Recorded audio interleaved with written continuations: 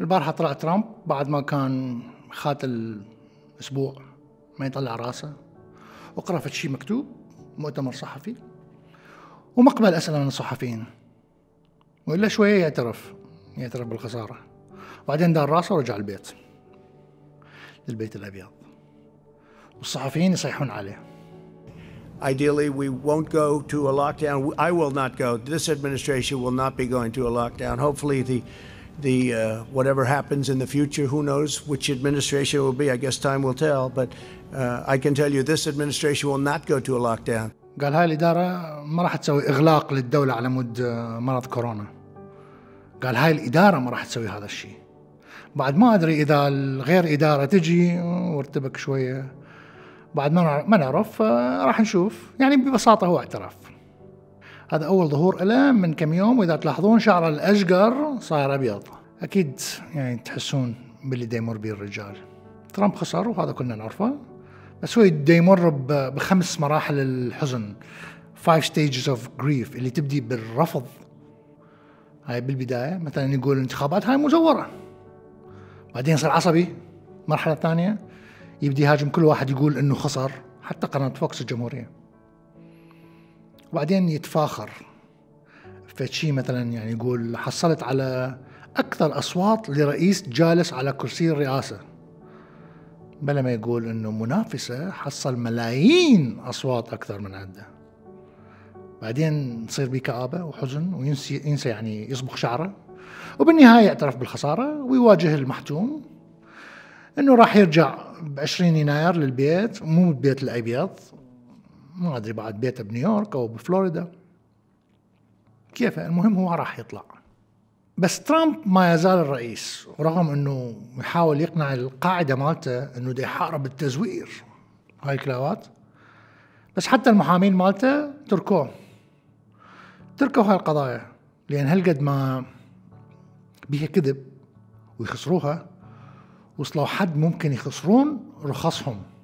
لأنه يروحون يضيعون وقت المحاكم والقضاة وإذا يريدون تكون عندهم قضية بها لزمه لازم يكذبون.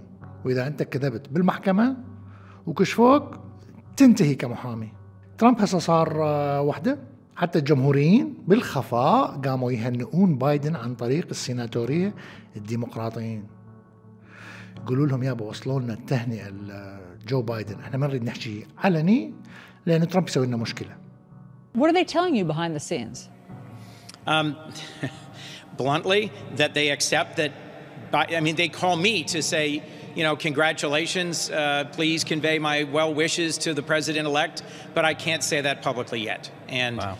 um, so when these are I'm just these curious, are conversations when, best kept and, private. Your, your colleague, uh, Senator Chris Coons, a Democrat from Delaware, told CNN he's hearing from some of his Republican colleagues who wish to congratulate President-elect Biden, but say they can't do that publicly yet. Are you having similar conversations with Republicans behind the scenes? Look, absolutely. You know, the average Republican senator is not an idiot. They understand that, you know, that Trump has lost. بس ترامب ما يزال الرئيس ومو رئيس بيته مو رئيس ايفانكا وميلانيا ودون جونيور هو رئيس منا لشهرين رئيس أمريكا وامريكا دوله ضخمه ومهمه بالعالم والرئيس لازم يكون قوي يكون متابع للاحداث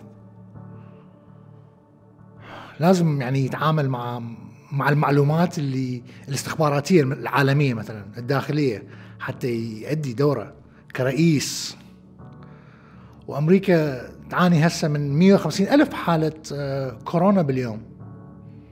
وصل عدد القتلى تقريبا ربع مليون. يعني مشاكلها الداخلية كلش كبيرة. وأيضا طبعا الاقتصاد منهار. زين ترامب إيش يسوي كرئيس هسه؟ شوفوا الرؤساء يعني مو ترامب الرؤساء الحقيقيين اللي يؤدون واجبهم واجباتهم تجيهم معلومات استخباراتية من من الوكالات الأمريكية الأمنية. كل يوم. كل يوم. أكو تقرير يجي لازم يعني يطلع عليه ويقرا عشان يعرف شنو الوضع. وأيضا مثلا وقت كوفيد. تقارير ومؤتمرات لموضوع فريق عمل كوفيد مهم جدا لأنه هو هذا أخطر شيء يواجه أمريكا حاليا. جوناثان ليمير صحفي من اسوشيتد بريس يقول عندنا مصادر تقول إنه الرئيس من 1 أكتوبر ما اطلع على أي تقرير أمني لأن ما يريد ما يريد يدوخ نفسه. صار له أشهر ما حاضر اجتماعات فريق عمل مكافحة كورونا. يعني صحيح هو كان أساسا يجي تقرير أمني واحد وكله عبارة عن صور لأنه هو ما يريد يقرأ وصحيح ما كان يفهم نص التقرير بس على الأقل دا يسمع على الأقل مرة بالأسبوع أتصور مو يوميا. يحاولون يفهموه إيش يصير. نقول يحاولون يفهموه. يعني ما أعرف إذا هو صدق يفتهم أو لا. صحيح مؤتمرات اللي يعني الموضوع كوفيد كانت مضحكة واقترح تضرب أوبر معقمة بس على الأقل كان دا يسوي مؤتمرات. مرة أجي لكم قصة. مرة سويت عقد ويا قناة عراقية رياضية. ردت دعايات إحدى الشركات المتعاملة وياها تعرض بالقناة. كانت خمس مباريات لمنتخب عراقي. هاي الشركة دفعت لي فلوس بشرط أحط إعلاناتهم بالقناة خلال المباريات آه مال المنتخب العراقي. بالمباراة الرابعة المنتخب خسر. صارت المباراة الخامسة مو مهمة تحصيل حاصل يعني للصعود للمرحلة الثانية. بس طبعا أنا إيش علي؟ أنا أريد إعلاناتي آه، بالمباراة لأنه دافع لهم فلوس على هذا الشيء. وعندي عقد ويا القناة وعندي عقد ويا الشركة الراعية. ما حطوا الإعلانات. قالوا ليش نحطها؟ مو إحنا ما صعدنا. يعني ورطوني ويا الشركة الراعية. أنا تخبلت. قلت لهم أنا الشعلة صعدتوا أو لا؟ أنا أريد إعلاناتي تنحط بالمباراة. دافع لكم فلوس على هذا الشيء. أنا مو هنا على مود يصعد الفريق أو أو ما يصعد. هذا مو شغلي. القناة سووا ضاجوا من الفريق ما صعد وقرروا يعوفون شغلهم ويصيرون يعني يحكمون على الفريق ونسوا إن هم موظفين بقناة تلفزيونية وعندهم التزامات. دونالد ترامب هسه نفس الشيء. نسى هو بعد رئيس أمريكا منا للسنه الجاية و20 يوم من السنة الجاية. خلاص بطل يشتغل ما عجبه يشتغل ضايج. يسوي تويتات يهاجم بيها الناس لا أكثر ولا أقل. قاعد بالبيت وياكل بيج ماك بالفراش ويصيح على التلفزيون. هذا ترامب. إنه مرات يروح يلعب جولف وهذا هو رئيس الولايات المتحدة الأمريكية الحالي.